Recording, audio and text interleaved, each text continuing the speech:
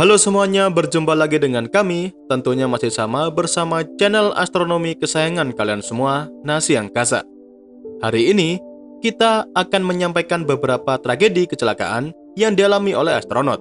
Dan tanpa mengurangi rasa hormat saya kepada seluruh korban, video ini kami buat dengan tujuan agar kalian semua bisa mengetahui mengenai pengorbanan demi kemajuan di bidang teknologi keantariksaan.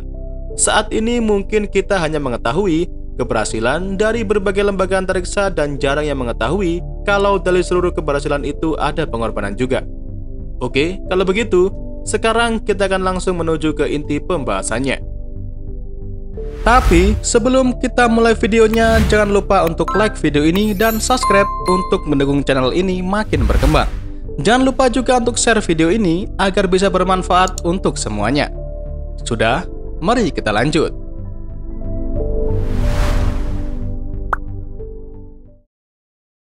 Yang pertama adalah tragedi Soyuz 1 pada tahun 1967. Kalau kita berbicara mengenai teknologi keantariksaan, pada zaman dulu Uni Soviet adalah negara yang paling maju dalam hal ini. Pada waktu itu, Uni Soviet ini memang gencar ya mengirimkan beberapa misi luar angkasa untuk menunjukkan betapa majunya negara ini. Dan itu termasuk pada sebuah misi sekaligus menjadi tragedi yang akan selalu menjadi sejarah kelam bagi kemajuan bidang keantariksaan Uni Soviet atau yang saat ini menjadi negara Rusia. Pada waktu itu, pesawat luar angkasa milik Uni Soviet menjalankan misi untuk penjelajahan bulan bernama Soyuz 1 pada tahun 1967. Pesawat yang waktu itu mengangkut kosmonot Vladimir Komarov jatuh karena ada kerusakan parasut. Dari insiden itu, Diduga parasut tersebut tidak terlipat dengan sempurna. Jadi ketika pesawat hendak mendarat ke bumi, tidak ada kekuatan yang menahannya dan membuat kapsul Soyuz 1 beserta kosmonot Vladimir Komarov langsung menghantam tanah dengan kecepatan yang sangat-sangat tinggi.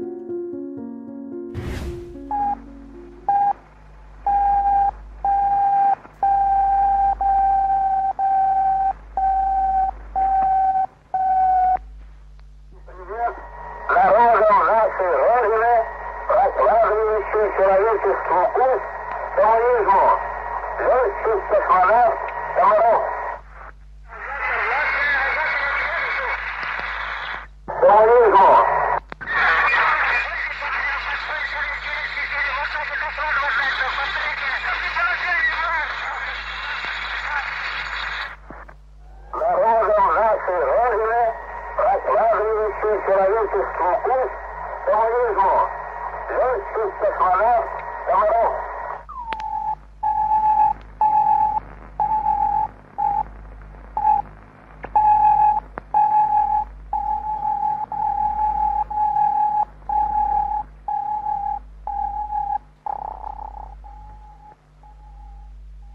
Dalam pembicaraan antara kru dan Vladimir Komarov yang barusan kalian dengarkan, menurut beberapa sumber yang kita peroleh, Vladimir Komarov waktu itu marah dan mengatakan bahwa kapsul sudah mulai memanas. Dan selain itu, ia juga mengatakan kata membunuh yang mungkin untuk menggambarkan apa yang telah dilakukan para kru kepadanya. Nah, kenapa bisa begitu?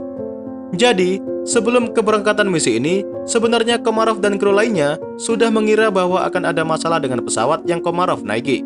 Tetapi waktu itu, pimpinan Soviet tidak menghiraukan peringatan itu, dan akibatnya, kosmonot Vladimir Komarov pun menjadi korban atas insiden mengerikan ini.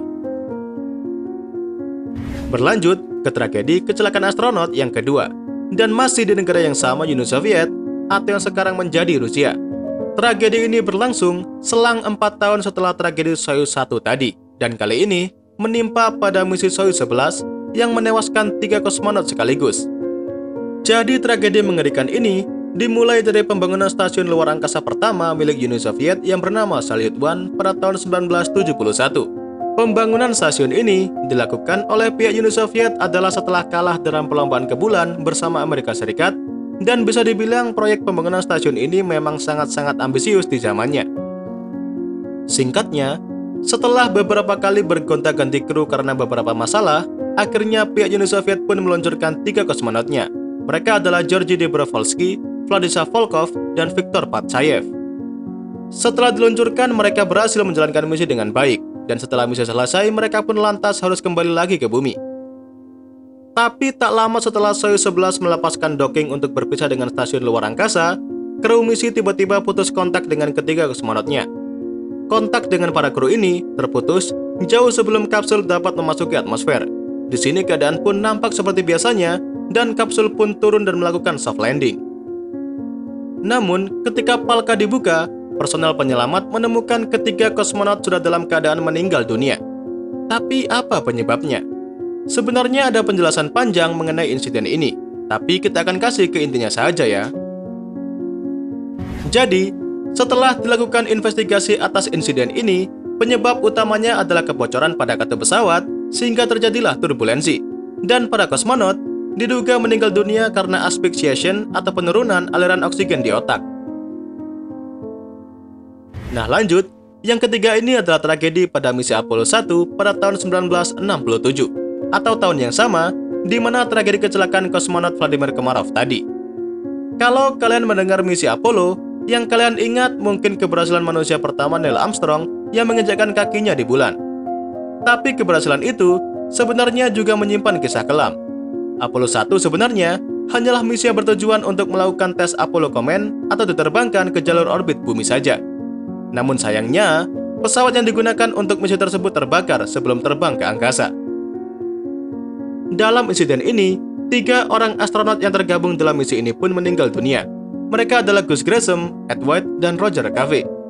Insiden dalam misi, atau yang dapat kita sebut juga sebagai simulasi ini, kebakaran diduga berasal dari komponen listrik yang mengalami kesalahan seperti konsleting listrik dan lain sebagainya. Dengan adanya keadaan itu, api pun muncul di dalam kabin dan dengan cepat melahap ruangan beserta astronot karena banyaknya materi berbahan nilon di sana. Dan dengan keadaan itu juga, Para astronot di dalamnya tidak dapat menyelamatkan diri lebih awal dan hal tersebut dikarenakan desain pintu kabin yang sulit untuk dibuka. Nah, di sini ada hal yang cukup menarik. Karena sebelum insiden ini terjadi, ketika astronot melakukan foto bersama sembari berpose seperti orang berdoa di antara miniatur kabin yang akan merenggut nyawa mereka. Hmm, seperti sudah ada firasat ya. Itu tadi adalah beberapa tragedi misi astronot maupun kosmonot yang bisa kita rangkum pada kesempatan kali ini. Sebenarnya masih ada banyak tragedi ataupun insiden lain yang juga sepatutnya untuk kalian semua ketahui. Namun tragedi selanjutnya akan kita bahas di video mendatang. Sekali lagi, tanpa mengurangi rasa hormat saya kepada seluruh korban yang ada di dalam beberapa tragedi tadi, video kali ini saya tujukan kepada kalian semua agar dapat mengenal lebih dalam mengenai misi keantariksaan. Karena selain keberhasilan pencapaian manusia dalam penjelajahan antariksa yang saat ini dapat kita saksikan, di dalamnya juga menyimpan pengorbanan dari beberapa orang yang sudah kalian ketahui tadi. Oke, jadi itu saja ya yang dapat kita sampaikan pada kesempatan kali ini. Seperti biasa, semoga pembahasan kali ini dapat memberikan wawasan baru sekaligus hiburan buat kalian semua. Jangan lupa ke depannya, masih akan ada banyak lagi pembahasan menarik mengenai dunia astronomi yang akan kita sampaikan. Dan tentunya, bakal sayang banget untuk kalian lewatkan. So, tetap stay tune terus ya bersama Nasi Angkasa, Media Astronomi Indonesia. Nah, sebelum meninggalkan video ini, jangan lupa untuk like dan subscribe agar channel Nasi bisa terus berkembang.